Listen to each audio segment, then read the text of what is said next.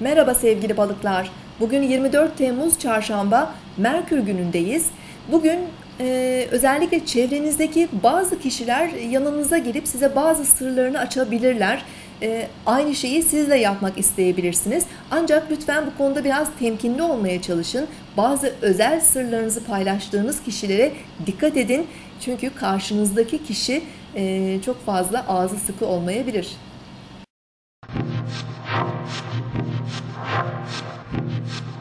Burcunuzu dinlediniz. Bugün 24 Temmuz Çarşamba, Merkür günündeyiz. Ay gün boyu Kova burcunda ilerleyecek ancak boşlukta olacak. Kova burcundaki ay güne bağımsız, yaratıcı ve orijinal enerjiler veriyor.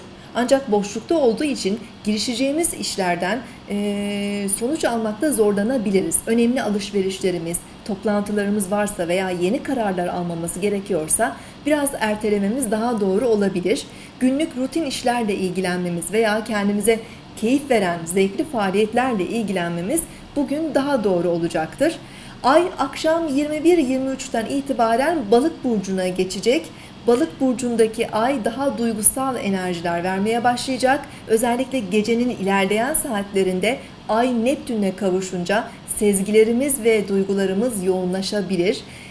E, manevi çalışmalar, ruhsal faaliyetler, sanatsal çalışmalar içsel dengemizi korumakta bize yardımcı olacaktır.